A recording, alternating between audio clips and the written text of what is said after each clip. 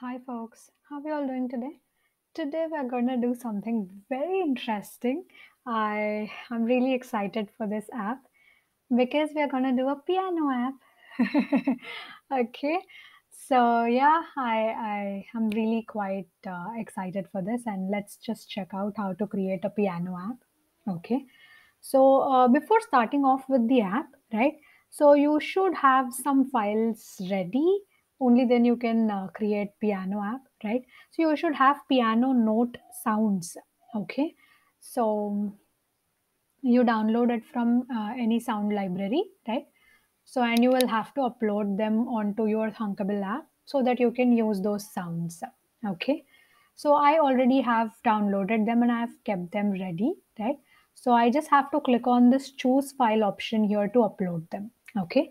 So, before starting off with this, I would just like to tell you all guys that if you have not been subscribed to my channel yet, so please do subscribe right? And also do share it with all those kids whoever are in need and whoever needs to learn coding right? Every kid i feel like they have to learn coding because hereafter we are gonna have all technical things only all technological things only right? So i just feel like this is very important for everyone right? Yeah. So this is all. Let's quickly get started and let's upload all the files by clicking on choose file over here.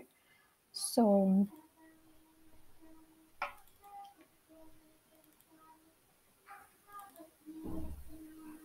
So I'm just selecting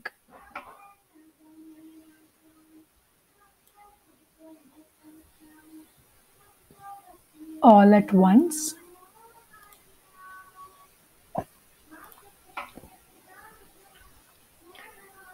So I have uploaded all the sounds like A, B, C, D, E, F, G, and high note, right? All the note sounds are there. Okay. So all WAV files are uploaded. Okay. And for this app, we will be needing a sound component. Without the sound component, you can't really play anything. Okay. So just search for sound component over here. You'll get it. And this is one of the uh, non-visible components. I mean invisible component. Okay. So just get this, right? And then now we are ready and we quickly can start designing our app. Okay. So for piano app, um, I'll just change the orientation of the screen, right? So let's rename it as piano. Okay, so let's change the background color. I think I would prefer a dark gray color. So screen orientation, landscape. Okay. And then we can style it. So vertical alignment will be top. Horizontal alignment will be center only. Okay. So yeah, this is all. Now, now on this, uh, I'll just place a row because I want all my buttons to be placed one beside the other. Okay. So that's why let's just get a row. So we already know a row is a component which will um, actually place the components one beside the other, right? The horizontal alignment. Okay. So that's why I'm just taking this. I will just change the height as um, relative size. Okay. So instead of fill container, we can just say 50% of the screen, right? So height will be 50% of the screen. Okay. When you just turn it like this, like the horizontal thing, then it will occupy the half of the screen, the top half. Okay. Now, um, and then we can just change the alignment. So horizontal alignment will be center. Vertical alignment also will be center. Okay. I think this is all. This is all on our, on our row. Now, now after the row, you'll have to drag buttons. Okay. We will be needing eight buttons in total. Like I have eight note sounds. So that's the reason um, I'm just taking eight buttons. Before taking eight buttons, right, what I would just like to tell you is um, first let's rename this one and then I will tell you. So this will be piano row, piano buttons row and then click on the button. You design one button, right? You can duplicate. Okay. So that's pretty simple. So I'll just rename this as um,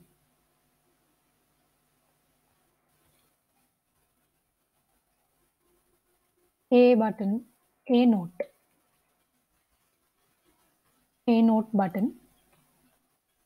Okay. Then uh, we do not have any text on the button, first of all, right? Or you can just say, or uh, wait a second, we'll start with C note.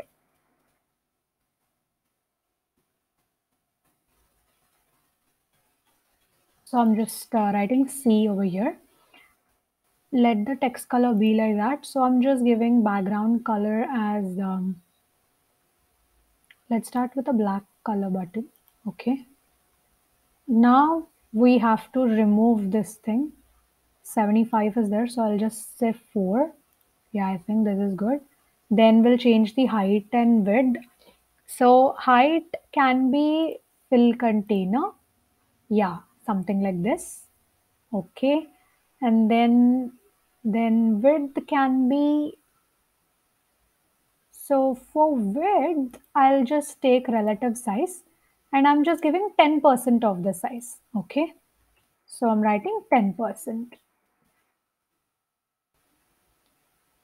Okay. And uh, how about the text? It's not being in the center.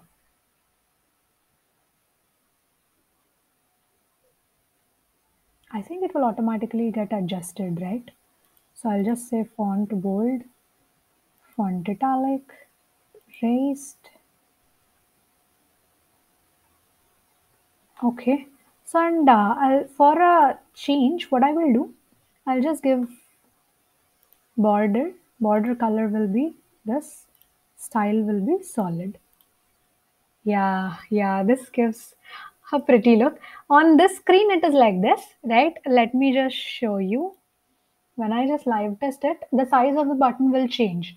So don't worry about the size and all. Yeah, see, it looks good. So now,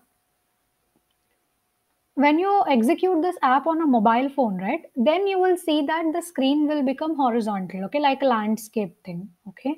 So, but on the laptop, we can't really turn and see, right? So that's how it is, okay. And what I'll do, I'll just duplicate the button. So I'll just duplicate it. I'll say this will be D note button. Okay, so D, the text will be D, right? And background color will change to white. Then text color will change to black. Okay, and then what next? Okay, so border color also will change to black, like white, black, white, black, right? So perfect. We have the other button also ready. Now what I'll do, I'll just click on the first button. I'll duplicate this. Oh wait, I'm renaming it, sorry. Duplicate it, duplicate it. Okay, so what can be done? We just will place this below D note. Okay, that's it. So C, D, E note, right? So this will be E note. Okay, and I'll change the text as E. That's it. Let's click on this now. Let's duplicate this. Let's drag it down below E. Right. Let's rename it first of all. After E, we'll have F. And then we'll have F here. Okay. Then we need a black button again. So I'm just duplicating it, duplicate it, drag it down below F, rename this first of all. So after F, we have G. I hope you have a G note. A, B, C, D, E, F, G is there, yeah. Next, we'll click on the white button. We'll just duplicate that white button. Let's just drag it down below G button. Okay. And then we'll rename this as uh, A note. Okay. After G, we'll write A. So A note. Okay. And then we'll duplicate this G button now. Duplicate, duplicate. This will become B now. Okay, this will be B. So B and B. Lastly, we need the white color button now. Duplicate, duplicate, drag it down below. This will be high, no, high C. So I'll say C sharp, C hash. Okay. So yeah, that's it. We're done with the piano keys, right? Okay, so just under this row, I would just like to place um, a label, okay, where when you click on the button, will just show the note on the but on the label, okay. So I'll just give some mar top margin. So I'll just say 10 pixel top margin, okay. Oh, I'm giving a padding, not padding, but uh, top margin, okay. So we can just say zero padding. And then we'll just give borders also so that um, so it looks like like it blends in with that. I'll just give a dark gray color. Uh, no, no, no, light gray color. Yeah, this is good. And let's give some padding also. I'll just give 5 pixel top and bottom padding and 10 pixel left and right padding. Yeah, cool. It has some gap and space now. So this will be empty and uh, this will be note label. I'll just remove this. Okay. Now under this label, we'll just place a button to clear all the notes off. Okay. So this will be clear button. I'll just rename this as clear button. Let's rename it as clear notes. And let's give a top margin. Top margin will be 10 pixels. Okay, and then um, border will be 2, radius will be 4, color will be light gray color to blend in with that things, and then solid, font bold, font italic, raised, and then we'll change the background color to light gray color or border is also with the same color, right? Then let's give white color. Mm, okay. Text will be black color. Cool. This is also good. Not bad, right? So this is all. I think we are done with the designing part, right? So yeah, we have all the design ready. Now what shall we do is we shall be going to blocks and let's start coding. Okay. Now when C note button is clicked, right? So when C note button is clicked, what shall we do on this is first thing we have to start playing the sound, right? So set sound one source to. So what will be the source? It will be C note.wav. Okay. And then we will have to start playing the sound. So call sound once play. Okay. And then we'll also have to set it on the note label. So set note labels text to C. Okay, I'll just write C. Right now, let's live test this for C button. If this works out, then we can actually duplicate it for all other buttons, right? So I'm just setting the sounds source. Okay, so I'm just giving the source file which sound has to be played. Okay, and then without calling the play function, we can't really play anything, right? So that's why I'm calling play. And then I'm setting it on the note label. That's it. Okay. Let's just quickly check this out. Okay, wow. Looks good. Looks good. Um, see? It just uh, writes C there. Wow. Wow. It's playing. it's playing. Nice. I, I really like it. it's playing the thing. We can just duplicate it for all other buttons now. So this will be D note button, then uh, D note, then thing will be D, not V, sorry, D.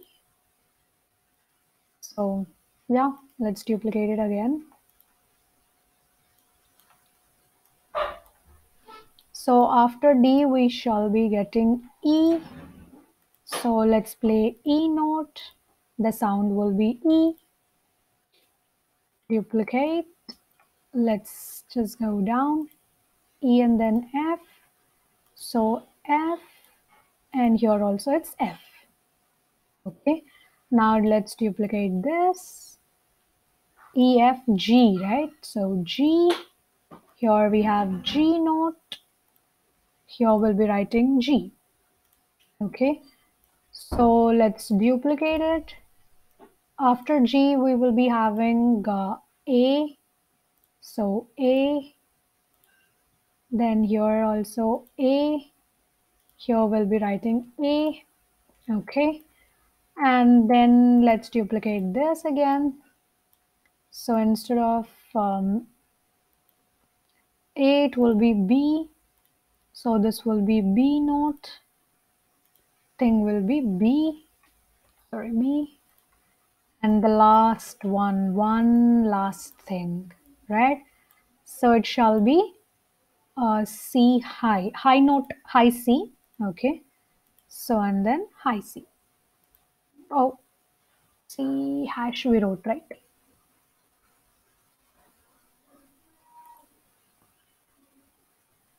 Right, cool. So just right click, clean up, so everything will be aligned properly, okay? You can actually right click and say collapse blocks, right click and clean up blocks. This is also fine. So everything will be, will be in one place, right? So how to um, expand the blocks is right click and expand block. It will expand itself. You can expand all by clicking on expand blocks also. Right click and clean up. This is also done. Right click collapse, right click clean up. This is also fine. Okay. So now let's live test it and check quickly. Wow. See, just imagine if this is like uh, the horizontal thing, it would look so pretty, right? More pretty than this.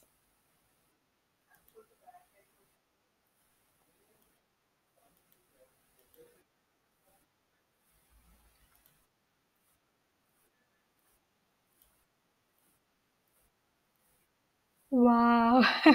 I don't know if you can uh, hear the sound or not, but this is cool.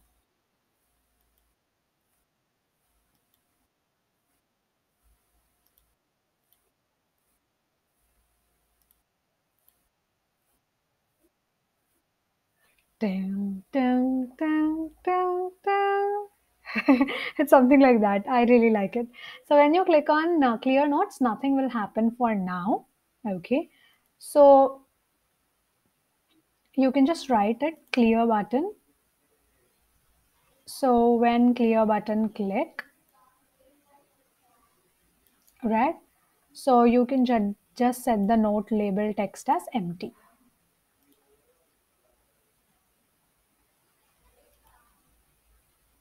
Set note label text to empty. Okay, this is also fine. Collapse, clean up. Perfect. So this is all about our today's session, guys. I hope you all like it. So if clear notes, it, okay, it did not get updated maybe.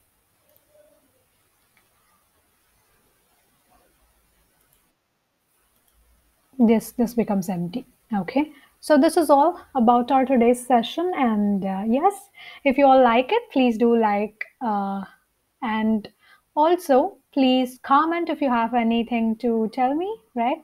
Also, just um, subscribe to my channel, Folx Hub. Okay. So yeah, please do like, comment, share, subscribe. Yes, everything. Okay. All right. So I will be meeting you all guys in the next session. Thank you so much for watching this video. I'll be coming up with more videos like this. Thank you so much. Bye bye. Have a great day. Well.